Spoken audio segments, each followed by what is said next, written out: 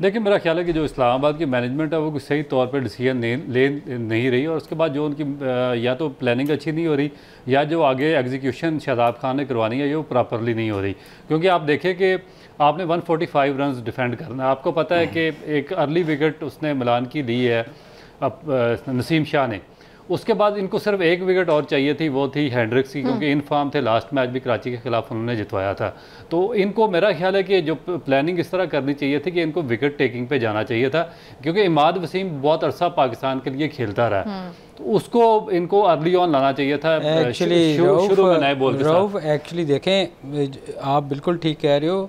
बात ये है जब कम स्कोर होता है ना तो आप अपने बेस्ट बॉलर से चांस लेते हम्म। हैं आउट करवाने के लिए।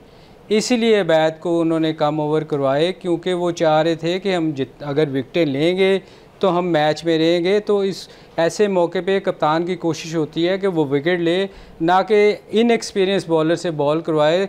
ताकि वो ऑलरेडी तो वो मैच कम स्कोर था। हम्म। तो वो उसकी कोशिश थी कि मैं अपने बेस्ट बॉलर से बॉलिंग करवाऊं। हम्म। रऊफ और वो विकेट सिर्फ़ सलीम भाई सिर्फ़ उबैद शाह से दो ओवर नहीं करवाए उन्होंने बल्कि अगर आप दूसरा बॉलर देखें फ़हीम अशरफ तो उसने भी सेवन पॉइंट फाइव वन की इकानमी से उसने भी दो ओवर किए हैं। दो ओवर उबैद ने किए हैं दो फ़हीम अशरफ ने क्योंकि उनको चाहिए थे विकेट चाहिए थी। और उन्होंने फिर उसको एक्सपीरियंस नहीं था ना वो तो उनकी कोशिश यही थी हाँ। कि यार के किसी तरह विकेट मिले और वो मैच मगर मेरा ख्याल है कि इनको अर्ली ऑन इमाद वसीम से अगर इनको पता था कि इनके जो पेसर्स हैं वो इस काबिल नहीं है कि स्ट्राइक कर सकते हैं हम्म, तो इनको फिर उसके साथ नसीम शाह के साथ दूसरे एंड से इमाद को बॉलिंग करानी चाहिए थी क्योंकि उसका रिकॉर्ड ऐसा है कि पाकिस्तान के लिए भी विकटें लेता रहा। करवानी चाहिए थी। ये, ये यहाँ तो कप्तानी का पता चलता है ना।